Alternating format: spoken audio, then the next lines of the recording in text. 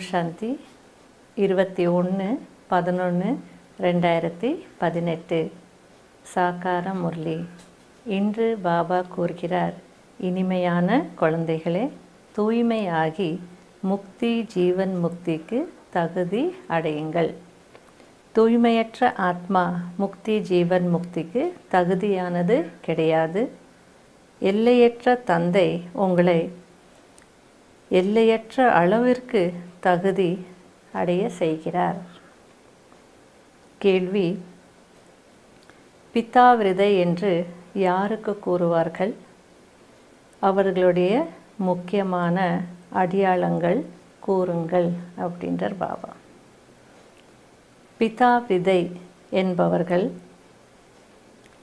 எப்பொழுதுமே தந்தையின் ஸ்ரீமத் படி முழுமையாக நடப்பார்கள்.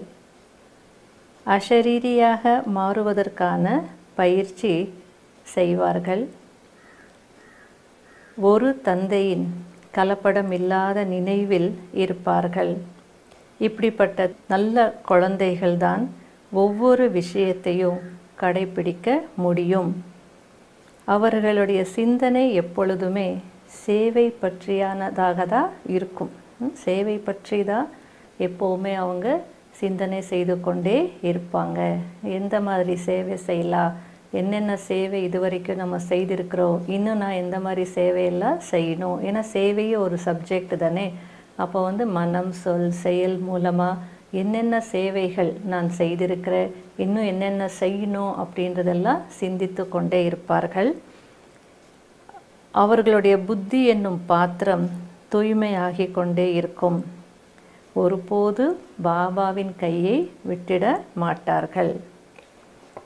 இன்னைக்கு பாடல் வந்து முரளினுடைய பாடல். எனக்கு துணையாக இருக்கக்கூடியவரே என்னுடைய மனம் உங்களுக்கு நன்றி சொல்கிறது அப்படின்னு ஒரு பாடல். இதை பாபா வந்து எக்ஸ்பிளைன் பண்ணுறார் அதாவது குழந்தைகள் பாபாவுக்கு நன்றி சொல்கிறார்கள். அதுவும் எப்படி இருக்குது தெரியுமா? வரிசை கிரமத்தில் முயற்சி கேட்டார் போல சொல்கிறார்கள். எல்லாரும் ஒரே மாதிரி அந்த நன்றி சொல்லவும் முடியாது. யாரெல்லாம் நல்ல நிச்சய புத்தி உடையவர்களாக இருப்பாங்களோ ஒரு தந்தையின் சேவையில் இருப்பாங்களோ அந்த சேவை கூட யார் வந்து உள்ளன்போடு செய்கிறாங்களோ அல்லது உயிருக்கு உயிராக நேசித்து அன்போடு செய்கிறாங்களோ அன்போடு ஈடுபட்டிருப்பாங்களோ அவர்கள்தான் உள்ளே இருந்து உள்ளத்தில் இருந்து பாபாவுக்கு நன்றி சொல்வார்கள். என்ன சொல்லுவாங்கன்னா பாபா ஆஹா பாபா அதிசயமாக இருக்குது நீங்கள் எவ்வளோ அதிசயம் செய்திருக்கீங்க. நாங்கள் ஒன்றுமே தெரியாமல் இருந்தோம் எங்களுக்கெல்லாம் ஞானம் கொடுத்து தகுதி அடைய வைத்து இவ்வளோ சொல்ல வைக்கிறீங்களே இவ்வளோ உயர்த்திருக்கீங்களே அப்படின்னு சொல்லி அவங்க தான் வந்து நன்றி சொல்லுவாங்களா பாபாவுக்கு. அதுக்கப்புறம் எதுக்காக நன்றி சொல்லுவாங்க அப்படின்னா எங்களுக்கு எந்த தகுதியும் இல்லாமல் இருந்தது. உங்களை சந்திப்பதற்கு எங்களுக்கு என்ன தகுதி இருந்தது? யோசித்து பாருங்கள் எவ்வளோ வந்து தூய்மையற்ற நிலையில் இருந்தோ இப்போ மகான்கள் அல்லது சித்தர்கள் அவங்கெல்லாம் தவம் பண்ணி முயற்சி செய்து தூய்மையாக இருந்து சாதனையெல்லாம் செய்து அதுக்கப்புறம் இறைவனுடைய காட்சியை பார்ப்பாங்க. இல்லது அவங்க பாஷையில் சொன்னால் இறைவனை இறைவன்கிட்ட போயிடுவாங்க அப்படிலாம் சொல்லுவாங்க. இறைவனை அடைவாங்க அப்படின்னு சொல்லுவாங்க. ஆனால் இங்கே முதல்ல இறைவனை அடைஞ்சிட்டோம். அதுக்கப்புறம் பாபா வந்து தகுதியுடையவர்களாக இப்போது நம்மளை மாற்றிட்டு இருக்கிறார் இது அதிசயம் இல்லையா? அதனால் இவன் அவங்க தகுதியே இல்லாமல் இருந்தது. எங்களுக்கு என்ன தகுதி இருந்தது? உங்களை சந்திப்பதற்கு அப்படியெல்லாம் வந்து அவங்க நன்றி சொல்லிக்கிட்டே இருப்பாங்களா? அது உண்மைதானே. மாயா வந்து அனைவரையும் தகுதியற்றவராக ஆக்கியிருக்கு இல்லையா? அதனால்தான் பாபா வந்து இதெல்லாம் சொல்லுவாங்க. நன்றி அதுக்கேற்ற மாதிரி சொல்லுவாங்க. இப்போ வந்து பாபா குழந்தைகளுக்கு அவருடைய அறிமுகத்தை அவரே வந்து கொடுக்குறார். இதுதான் சட்டம். அவருடைய அறிமுகத்தை அவரே வந்து கொடுக்கணும். அவர் வந்து எல்லாரையும் தகுதி உடையவர்களாக மாற்றணும் தூய்மை ஆக்கணும் மேலே இருந்து அவர் வந்து எல்லாரையும் தூய்மை ஆக்கிட்டால் அப்போ இந்த உலகத்தில் தகுதியற்றவர்கள் அப்படின்னு யாருமே இருக்க மாட்டாங்களே இத்தனை பேர் யாரும் இருக்க மாட்டாங்களே அப்படின்றார் பாபா. அதனால் தகுதி அடைய செய்யணும் அப்படின்னா நான் கீழே வரணும். இதெல்லாம் வந்து என் புத்தியில் இருக்குது ஆனாலும் நம்பர் வார் அப்படின்றார். வரிசை கிரமத்தில் முயற்சிக்கு ஏற்றார் போல நிச்சய புத்தியுடையவர்களாக இருக்கீங்க. இப்போ பாபா சொல்கிறார் பாபாவுனுடைய அறிமுகத்தை எப்படி கொடுக்கணும் அப்படின்றதுக்கு கூட அறிவு வேணும். மூளை வேணுன்ற மாதிரி சொல்கிறார் எப்படின்னா டைரெக்டாக இவர் தான் சிவ் பாபா அப்படின்னு எல்லாம் எக்ஸ்பிளைன் பண்ணக்கூடாது. சிவாய நமக அப்படின்னு நம்ம சொல்கிறோம் அப்படின்னா அவர் யார்? உயர்ந்தவர். அவரை வணங்குறோம் அப்படின்னா கண்டிப்பாக அவர் உயர்ந்தவர் இல்லையா? தாயும் நீயே தந்தையும் நீயே அப்படின்னா அப்போ அவர் வந்து எவ்வளோ உயர்ந்தவர்? தாய் தந்தையாக நமக்கு என்ன செய்கிறார் அப்படின்றதெல்லாம் யுக்தியாக புரிய வைக்கணும். யுக்தியோடு பாபாவினுடைய அறிமுகத்தை வந்து கொடுக்கணும் அதை கற்றுக்கணும் அப்படின்றார். எடுத்த உடனே டைரெக்டாக இறைவன் நிராகாரர் அப்படிலாம் சொல்லிடக்கூடாது.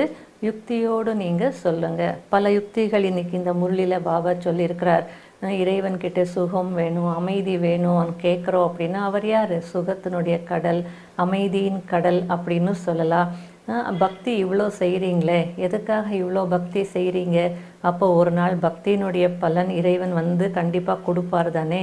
அப்போ அந்த பக்தியினுடைய பலன் என்ன அப்படின்ற அர்த்தத்தில் யுக்தியாக நீங்கள் சொல்லலாம் அப்படின்றார். ஏன் அப்படின்னா இறைவன் ஞானக்கடல் நல்ல புத்தி கொடு இறைவா அப்படின்னு ஏன் கேட்குறீங்க இறைவன் கிட்ட? அவர் ஞானக்கடலாக இருக்கிறார். இப்படி யுக்தியாக நீங்கள் சொல்லுங்கள் ஆக மொத்தம் யார் வந்தாலோ முதல்ல அவர்களுக்கு தந்தையின் அறிமுகத்தை கொடுக்கணும் அப்படின்றார். எக்ஸிபிஷனில் வந்து அடிக்கடி வந்து இந்த ஒரு விஷயத்தை நல்லா புரி புரிய வைங்க. கடவுள் யார்? அது நல்ல ஆணித்தரமாக புரிய வைங்க. எங் அங்கே நம்ம எக்ஸிபிஷனில் இந்த வெளி போகும் போதே அவங்களுக்குள்ள ஒரு விஷயம் போயிருக்கணும். அந்த அளவுக்கு வந்து ஏற்றணும் அவங்களுடைய புத்தியில். அதனால நல்லா வந்து புரிய வைக்கணும் அப்படின்றார் பாபா.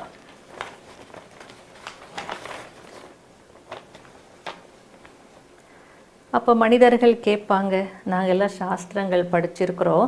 அப்போ அந்த சாஸ்திரங்கள் வந்து எங்களுக்கெல்லாம் தெரியும் அப்படிலாம் சொல்லுவாங்க. அப்போ நீங்கள் சொல்லுங்க தந்தையை புரிந்து கொண்டால்தான் அவரிடமிருந்து ஆஸ்தி கிடைக்கும். சாஸ்திரங்கள் மூலமாக உங்களுக்கு எந்த ஆஸ்தியும் கிடைக்காது. இதெல்லாம் வந்து யுக்தியோடு பாபாவுடைய அறிமுகத்தை கொடுங்க. யார் அதிகமாக பக்தி செய்திருப்பாங்களோ அவங்களுக்கு பக்தியினுடைய பலனும் கிடைக்கும். இதெல்லாம் வந்து பாபா நமக்கு புரிய வைக்கிறார். ஒரு சிலர் வந்து உடனே புரிஞ்சுப்பாங்க. ஆனால் எல்லாரும் உடனே புரிஞ்சுக்குவாங்க அப்படின்னு சொல்லவும் முடியாது. லௌகீகத்துலேயும் அப்படி தானே இன்றைக்கி போய் இந்த லா காலேஜில் சேர்ந்துட்டாங்கன்னா நாளைக்கே அவங்க வந்து வக்கீல் ஆகிடுவாங்களா அதுக்கும் மூன்று வருடங்கள் படிக்கணும் தானே? அதுபோல் மெது மெதுவாக தான் புரிஞ்சுப்பாங்க. ஆனால் இப்போ நீங்கள் மெதுவாக புரிஞ்சுட்டு முயற்சி செய்யுங்க. ஆனால் லட்சியம் மட்டும் உங்களுக்கு நான் தேவதையாக மாறுவதற்காக தான் இங்கே வந்திருக்கிறேன் அப்படின்ற லட்சியம் வந்து இருக்கணும். ஏம் ஆப்ஜெக்ட் எப்போவுமே நான் தேவதை ஆகணுன்றது முதல்ல இருக்கணும். அதனால் அந்த ஏம் ஆப்ஜெக்ட் பற்றியும் சொல்லணும். அதே நேரத்தில் பாபாவனுடைய அறிமுகத்தையும் சொல்லணும். இந்த படங்கள் வந்து பிறருக்கு ஞானம் புரிய வைக்கிறதுக்கு ரொம்ப வந்து யூஸ்ஃபுல்லாக இருக்குது அதனால இந்த படங்கள் மூலமாக நீங்கள் தந்தையினுடைய ஆக்குபேஷன் அவருடைய வாழ்க்கை வரலாறு தொழில் எல்லாமே நீங்கள் புரிய வைக்கலாம் அப்படின்ற. பாபானுடைய கட்டளை எவ்வளோ முடியுமோ அவ்வளவு நினைவே நினைவினுடைய அளவை அதிகரித்து கொண்டே இருங்க. நாளுக்கு நாள் அதிகமாக பாபாவை நினைக்கணும். அதாவது அகலமாக இல்லை ஆழமாக அகலமாக வேணால் கூட செய்யுங்க. இன்றைக்கி இன்னைக்கு ஒரு மணி நேரம் நினச்சேன்னா நாளைக்கு ரெண்டு மணி நேரம் நினைங்க தப்பில்லை. ஆனால் பாபா சொல்கிறது நினைவினுடைய அளவு அப்படின்னு சொல்லும்போது அந்த நெருக்கம் நமக்கு அதிகமாகணும். ஆழம் அதிகமாகணும். அப்போ தான் விக்கர்மா வந்து விநாசமாகும். தேகாபிமானம் இருந்தது அப்படின்னா நினைக்க முடியாது. அல்லது தேகாபிமானத்தில் வர்றதுனால நினைக்க முடியாமல் போயிடும். அதே நேரத்தில் புத்தியும் வந்து என்ன ஆகாது? தூய்மை ஆகாது. அதுக்கு என்ன சொல்லுவாங்க அடிக்கடி பாபா? சிங்கத்தினுடைய பால் வந்து எதில் தங்கும்? தங்க பாத்திரத்தில் தான் தங்கும். அதுபோல் உங்களுடைய புத்தி என்னும் பாத்திரம் எப்படி இருக்கணும்? பிதா விருதையாக இருக்கணும். ஒரு தந்தையினுடைய நினைவில் இருக்கணும். சிலர் நல்லா இதை புரிஞ்சுப்பாங்க சிலர் வந்து புரிஞ்சுக்க மாட்டாங்க. சின்ன குழந்தைகள் போலவே இருப்பாங்க. அதுக்கு பாபா ஒரு எக்ஸாம்பிள் கொடுக்குறார். இந்த குழந்தை திருமணம் எல்லாம் நடக்கும் இல்லையா? அப்போ அந்த சின்ன சின்ன குழந்தைகளை என்ன பண்ணிடுவாங்க? சின்ன சின்ன குழந்தைகளுக்கு திருமணம் செய்து வச்சிடுவாங்க. அவங்களுக்கு ஏ திருமணம்னா என்ன? அதெல்லாம் ஒன்றும் தெரியாது. ஒரு விளையாட்டாக இருக்கும். அந்த மடியில் உட்கார வச்சு திருமணம் செய்து வச்சிடுவாங்க. அவங்க எல்லாம் ஃப்ரெண்ட்ஸு போல் அந்த குழந்தைகள் விளையாடிட்டே இருக்கும். அதுபோல் அவங்களுக்கு அந்த சீரியஸ்னஸ் எல்லாம் தெரியாது. அதுபோல் இங்கேயும் சில குழந்தைகள் பாபா குழந்தைகள் ஆயிடுவாங்க பாபா பிடிக்கும் சென்டர் பிடிக்கும் சேவை பிடிக்கும். ஆனால் சீரியஸ்னஸ் தெரியாது. அதாவது ஆழமாக போகணும். அதெல்லாம் வந்து தெரியாது. ஆஸ்தி அடையணும் அதெல்லாம் தெரியும் அம்மா பாபா கிட்ட வந்துட்டோம் அவ்வளோதான் அப்படின்னு இருப்பாங்க. இது கூட அதிசயம். அவங்க ரொம்ப நாளைக்கு இருக்க மாட்டாங்க ஒரு அஞ்சாறு வருஷம் இருப்பாங்க. அதுக்கப்புறம் டைவர்ஸ் பண்ணிட்டு போயிட்டே இருப்பாங்க. ஏன்னா மாயா அவ்வளவு வந்து என்ன பண்ணுது? தொல்லை கொடுக்குது. அப்போ வந்து பாபா கையை விட்டுட்டு போயிடுவாங்க. அதனால அது மேலாப்பில் இருக்கக்கூடாது. கொஞ்சம் நம்ம வந்து பாபா சொல்கிற விஷயங்களை ஆழத்துலேயும் புரிஞ்சுக்கணும்.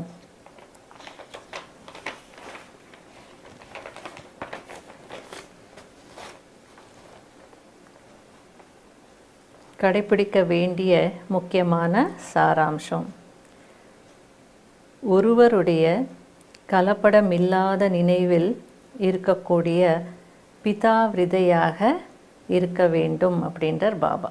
ம், அதுக்கு நல்லா நம்ம வந்து முயற்சி செய்யணும். அதுக்கு அது முடியல அப்படின்னா அந்த நிலை வரல அப்படின்னா அப்போ அதுக்கு நாம் என்ன செய்யணும் அப்படின்றத யோசிக்கணும். நினைவை அதிகரித்து கொண்டே புத்தியை தூய்மையாக மாற்ற வேண்டும். ரெண்டாவது பாயிண்ட். பாபாவினுடைய அறிமுகத்தை யுக்தியோடு சொல்வதற்காக விதிகளை கண்டுபிடிக்க வேண்டும். விசார கடல் கடைந்து தந்தையை ப்ரூவ் பண்ண வேண்டும். தந்தையினுடைய அறிமுகத்தையில் தந்தையை வந்து நிரூபிக்க வேண்டும். நிச்சய புத்தியுடையவர்களாகி சேவை செய்ய வேண்டும். வரதானம். சுய முன்னேற்றத்தின் யதார்த்தமான கண்ணாடியை அணிந்து எடுத்துக்காட்டாக இருக்கக்கூடிய கவனக்குறைவிலிருந்து விடுபட்டவர் ஆகங்க.